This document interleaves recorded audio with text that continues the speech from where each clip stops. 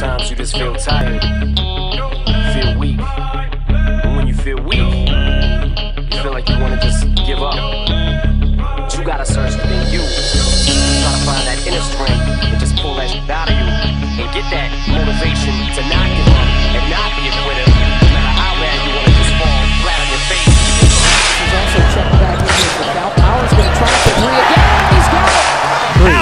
Powers breaks the drought. Right corner Powers at three on the way. Rattles home. Coming around Powers left open for three. Back to the basket, hands off Powers at the top. Straight on 17 footer. Good.